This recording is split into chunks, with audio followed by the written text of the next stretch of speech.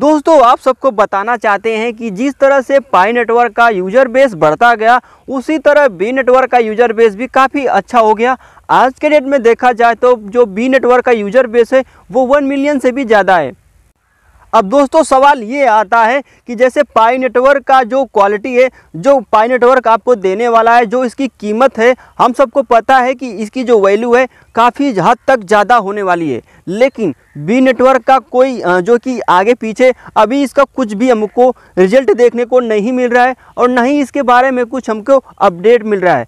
और दोस्तों, इसका ना ही हम लोग को फ्यूचर दिख रहा है।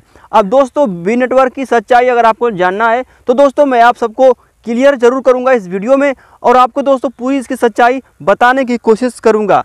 लेकिन दोस्तों, उससे पहले देखा जाए तो पाई नेटवर्क का जो सिस्टम है, जिस तरह से वो काम कर रहा है, हम लोगों को पूरा उम्मीद है कि वो हम लोग को एक अच्छी वैल्यूएबल जो कि प्रदान करेगा। लेकिन दोस्तों बी नेटवर्क का अभी तक कोई सिस्टम कुछ भी हम लोग को समझ में नहीं आ रहा है कि वो हम लोग को क्या देने वाला है और उसका क्या फ्यूचर होने वाला है।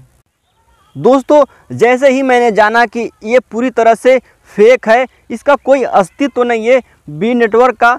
जैसे ही मैंने सुना, मैंने अपने फ़ोन से इस ऐप को डिलीट कर दिया परमानेंटली हमेशा के लिए डिलीट कर दिया अपने प्ले अपने मोबाइल से। अब दोस्तों, इसे आप डिलीट तभी करिए जब इसकी पूरी सच्चाई, आप पूरी इसकी रियलिटी को जानिए। अब दोस्तों, इसकी रियलिटी जानने के लिए आपको डिस्क्रिप्शन में दिए गए लिंक पे क्लिक करना है, जो कि मैं नहीं, बल्कि कोई और आपको बताया इसके बारे में अच्छी तरीके से?